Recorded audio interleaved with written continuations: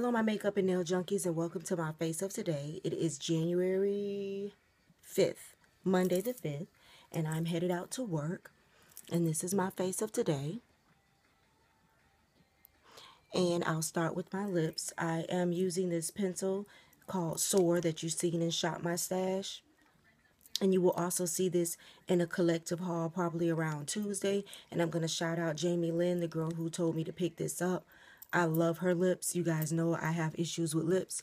And um, I have to get one more that she told me about, which is Stone. But yes, this is Soar. And I have that all over my lips with the Kate Rimmel 101. And then I have my NARS lip gloss over that. So that is my lips. Loving the combination. I have all my items from my Shop My Stash on.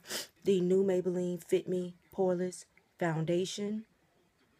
And stay tuned because before after this video, there is a video of me when I first got this. And I actually put it on for you guys and give you my first initial review. I am wearing this all week and I probably will wear it for two weeks or the entire month. Haven't decided yet. Next, I do have on the new Infallible L'Oreal 16 Hour Powder. I am, I took the sticker off. I think I'm 600 in this.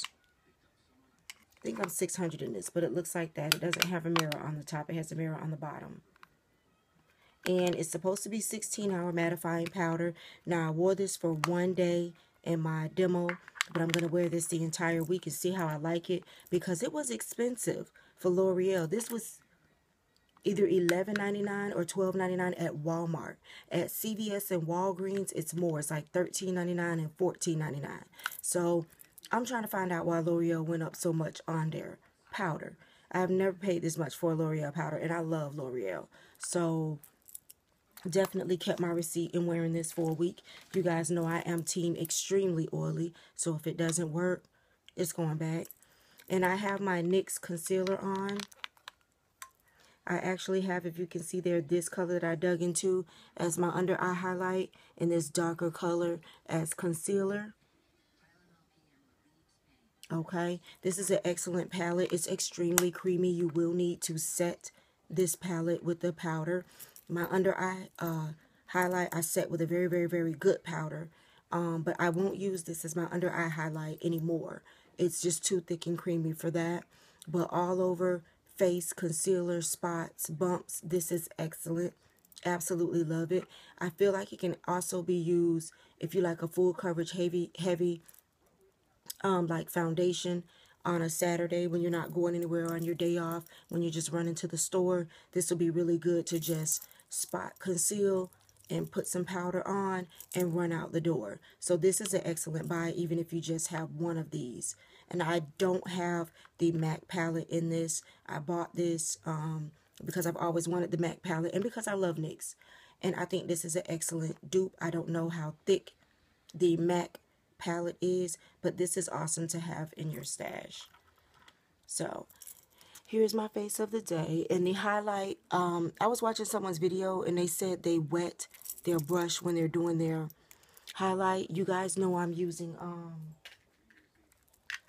the Glow All Over by Ruby Kiss.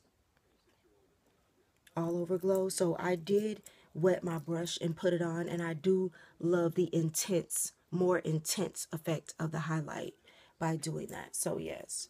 So I am ready. It's 37 degrees when we woke up this morning here. So I have my accessories on and my scarf. This is actually two scarves from, Walmart. And I have one just long because they're both infinity scarves. So one I left long and the other one I have doubled up on. Okay. And your girl has to get ready to go make a dollar. So hope you enjoy the face of the day. Try to give you guys good lighting so you can see. And I'm using all my items for my Shop My Stash video. So stay tuned to Instagram for pictures. I'll see you the next time we play in our makeup.